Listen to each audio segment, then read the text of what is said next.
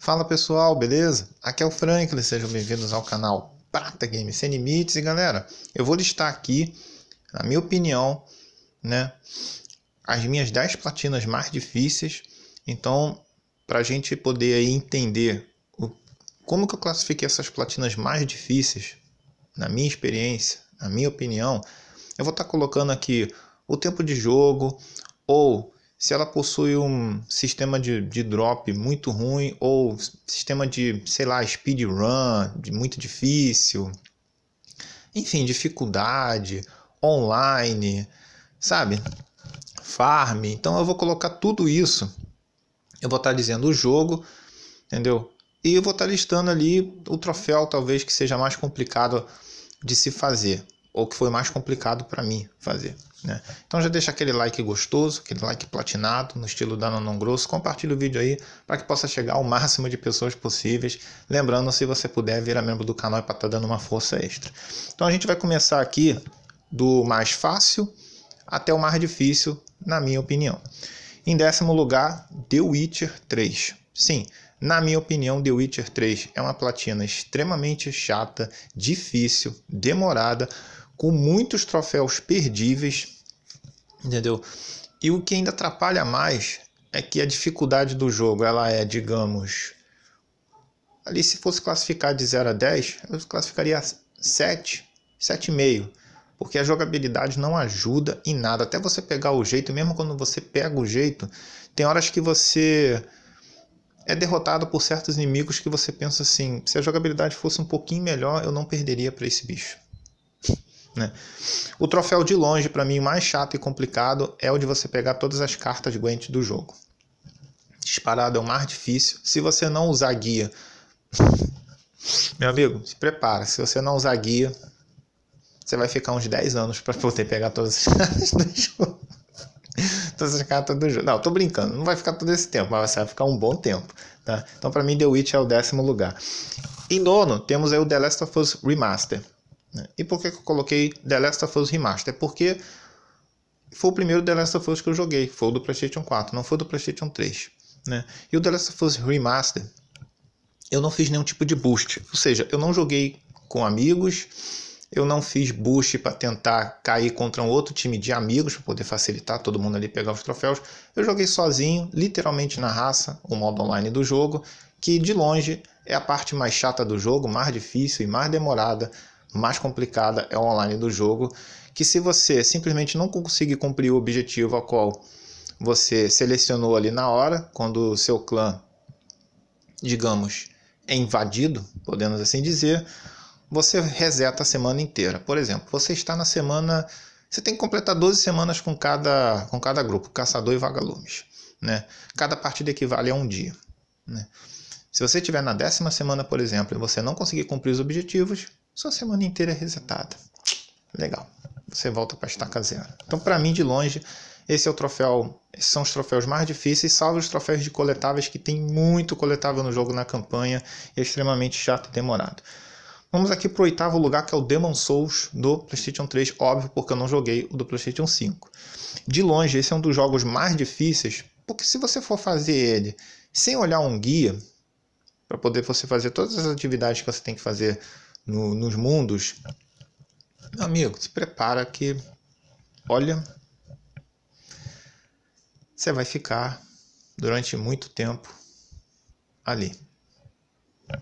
De longe, o troféu mais chato é para você dropar a Pure Blackstone, eu acho que é assim que se fala, que é um itemzinho para tu fazer uma espada lá, uma arma específica, e que eu levei quase 16 horas seguidas matando o mesmo inimigo né? e detalhe, a cada 30 segundos você mata esse inimigo. E só esse inimigo dropa o item. Legal. Vamos aí para o sétimo lugar que eu classifiquei foi o Rod Redemption, que é um sucessor espiritual do Road Rash. Rod Redemption é um jogo de moto aí muito legal, onde você é meio que um digamos, um roguelike de, de jogo de corrida. Tem a campanha ali, se você perder game over, você volta para a primeira corrida. Né? Ah, cara, de longe, de muito longe, o troféu mais difícil é você conseguir zerar com um certo personagem lá. Porque o que acontece? O Rod Redemption ele te dá a opção de fazer o upgrade do seu personagem. Né? Sendo que você tem que zerar com praticamente todos os personagens. Se eu não me engano, é todos os personagens básicos do jogo sem ser os de DLC. Né? E tem personagens que ele já vem uns atributos específicos que você não consegue melhorar. E vem, tem um carinha que ele tem 25 de HP. 25 de HP. E, bom, se vocês quiserem como que se transforma essa platina num jeito mais tranquila, mais fácil, tem um guia no meu canal aqui, é só você procurar, botar Rod Redemption Prata Game e você vai achar. E, cara, é, é medonho de como é difícil, porque qualquer pancada mata esse personagem que você, que você está jogando. Então, é uma platina difícil, bem difícil na minha opinião, mas se você seguir meu guia, cara, segue meu guia. Você vai curtir. Bom, temos aqui a próxima, que é o Resident Evil 1 Remake. Resident Evil 1 Remake, na minha opinião, é uma... Na... Pera aí. Na minha opinião, é uma platina extremamente chata e difícil e repetitiva. Porque você tem que zerar o jogo diversas vezes, fazer diversos finais, zerar de diversas formas. Tem troféu de você zerar matando todos os inimigos só na faca, e aqui vai uma dica para você. Caso o inimigo te agarre e tem aquele movimento que a personagem faz de se soltar e automaticamente pisar na cabeça do inimigo, pode fechar o jogo e abrir de novo, porque ali você perde o troféu. Já estou dando essa dica. Tem outro troféu de você zerar matando todos os inimigos que ficam invisíveis no mapa. Dá para fazer em qualquer dificuldade, mas ainda assim é chato. Entendeu? Tem um troféu de você zerar que, na minha opinião, é o mais difícil, que é o modo Real Survival, que é não tem mira automática, os baús não são conectados, ou seja, se você guardou seus itens num baú, você foi um pouco mais para frente do jogo, normalmente os itens estariam no próximo baú. No Real Survival não. Não são interligados e qualquer zumbi que te dá uma mordida, seu HP já vai pro dungeon. Então, tipo, é extremamente difícil. Vamos aqui pro, pro próximo, o quinto, que é o Resident Evil Zero. Né, Resident Evil Zero, na minha opinião, é uma platina também extremamente difícil, porque você também tem que zerar de diversas formas. Né? Você tem um minigame ali, quando você finaliza o jogo, você tem direito a esse minigame, que ele é extremamente com, meio complexo, um pouquinho chato de se fazer. De longe, para mim, o troféu mais difícil do jogo é você zerar o jogo sem usar nenhum tipo de cura. É extremamente. Cara, é chato. É muito chato esse troféu no Resident Evil Zero. E, no, e nesse minigame, ao qual você tem uma quantidade absurda de inimigos, e você tem que. Tem um troféu que você tem que coletar 50 pedras verdes, eu acho, com a, com a Rebeca e 50, e 50 pedras azuis com o carinha que eu agora não lembro o nome. Esse minigame, se você zerou o jogo no difícil, esse minigame vem no difícil. Se você zerou no normal, esse minigame vem no normal. Então, o que, que eu aconselho você a fazer? Zera o jogo no normal, abre esse minigame, faz os faz tudo ali no, no, minigame que você vai liberar a Magno com munição infinita, vai liberar um monte de coisa para a campanha para ser jogada no normal você só vai. Logo no início do jogo, quando você está lá dentro do trem, na primeira cabine que você entra lá, que tem o bagulho do save e tal, já vai estar tá a Magno lá com a munição infinita. Né? Então é bom para você fazer certos troféus, como zerar o jogo sem usar nenhum tipo de cura, porque a Magno ela dá headshot em qualquer tipo de, de zumbi. Bem, cara, facilita bastante o jogo. E vamos aqui para. Aí começa a vir as carniças, né? Mais carniças ainda. Em quarto temos o Fórmula 1 2015 que, cara, é, esse, esse jogo por si só ele não tem uma platina assim. Os troféus são todos tranquilos, são só demorados, né? Bem demorados, né? Complete 30 voltas limpas em tal circuito, complete 30 voltas limpas em tal circuito. E até aí, beleza, você vai levar ali um tempo a ficar dando voltas, voltas, voltas, voltas em vários circuitos. O problema é um troféu de você. Parece simples. Você chegar pelo menos no Qualify 2 jogando a campanha do jogo no modo profissional. E, mas como, por que é tão difícil? O Qualify 2 funciona da seguinte forma, para quem não está ligado aí. Todo, todos os carros no Qualify 3 vão fazer uma disputa de tempo ali Se eu não estou enganado, os 16 melhores vão para o Qualify 2. Aí você pensa, nossa, mas isso é tão difícil. Cara, é muito difícil, porque no modo profissional você não tem nenhum tipo de ajuda, controle de tração desligado, freio ABS desligado, suas marchas são no manuais, você não tem um mapinha da pista, caso você não conheça a pista. Eu já conheço todas as pistas da Fórmula 1, então é, é bem tranquilo, isso não me afeta. A câmera é literalmente dentro do cockpit. Você só tem a ajuda do seu engenheiro falando com você através do rádio, qualquer informação que você obtiver. E a máquina vem na dificuldade lenda, meu amigo, que é mais de 100% de dificuldade. É. Eu vi pessoas no volante chorando no MyPSP, dizendo que ia desistir dessa platina porque não estava conseguindo. Yes! e eu fiz no controle. Né? Vamos aqui para o top 3 de platinas difíceis, na minha opinião. Vamos lá, Dragon Ball, Xeno, Dragon Ball Z Xenoverse. Cara, eu tenho. Eu, eu não sei quantas horas eu tenho de jogo, nunca parei para olhar no Exophase. Mas eu, eu, eu, não jogava tanto nessa época porque eu trabalhava em dois lugares, né? Eu era o Júlio aí, né? nessa época. Então, assim, cara, esse, esse jogo. a única coisa mais chata desse jogo é você simplesmente dropar todos os ataques máximos e super ataques. Quais são as magias do jogo, né? E, caras, eu lembro que eu fiquei muito tempo jogando. Quando eu digo muito tempo, eu ficava jogava duas, três horas por dia, que é o tempo que eu venho jogando hoje, mais ou menos. Ou seja, eu estou jogando pouco ultimamente. E eu jogava, digamos, pouco nessa época também.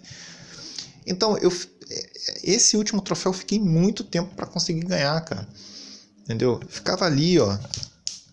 E, e o detalhe é que você tem que jogar a mesma luta sempre que no caso a minha faltava a magia do Book, ele levanta a mão e solta aquele monte de, de rádio para poder acabar com, com a humanidade, né? aquele golpe lá. Esse golpe que ficou faltando e você tinha que ficar fazendo, um, digamos, um rank máximo dele toda hora.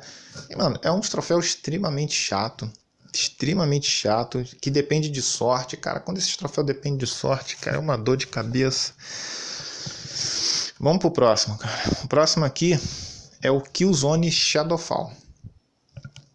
É, e a medalha de prata aí. A medalha de bronze foi o Dragon Ball Xenoverse e esse aqui é a medalha de prata, Killzone Shadowfall.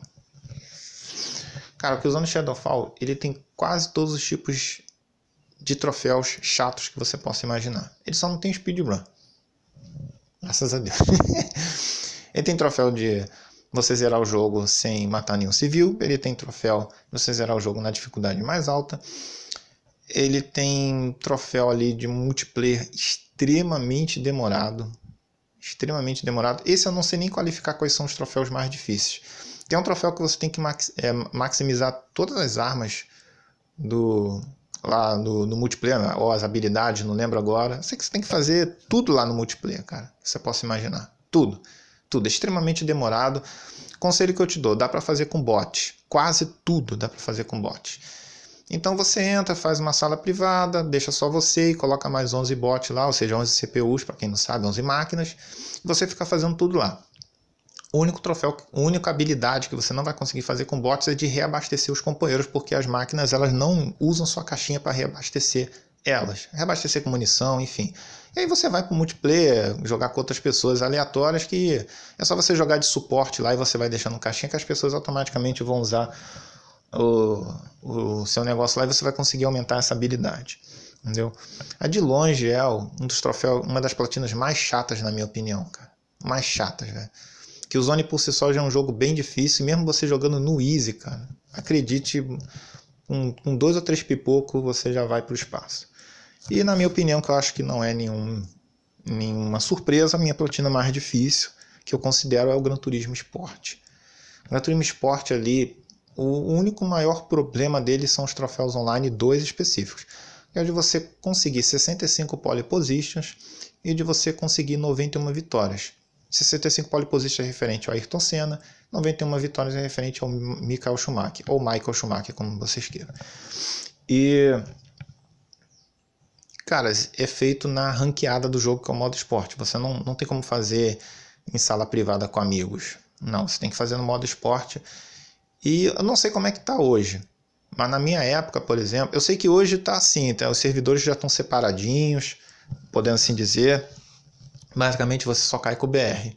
Mas na época que eu joguei, era aqui na América era tudo misturado. Então, quando eu caía no lobby, 70% eram americanos. e todos eles de volante, e eu no controle. Então, talvez isso tenha dificultado, não sei se hoje iria facilitar mais a minha platina, não sei. Eu sei que eu levei em torno de 21 dias jogando direto, sem parar. Eu, não, eu nem dormia jogando Gran Turismo Sport. A galera perguntava até se eu estava bem. Mas, cara, esse é meu top 10. Né? Deixa eu ver se eu esqueci de algum, acho que não. Não, não.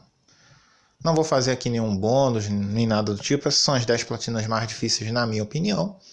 Então eu quero que você deixe a sua nos comentários qual foram suas platinas mais difíceis ou os jogos mais difíceis que você zerou. Também é importante eu saber. Ou multiplayer que você tem alguma dificuldade, tá?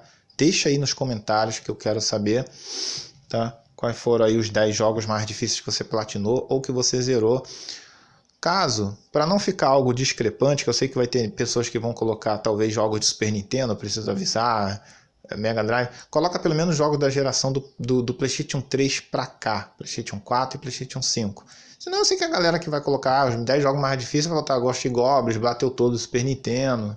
Não, pô, pelo menos tenta trazer da geração do PlayStation 3 para cá, para ficar justo com a galera da platina.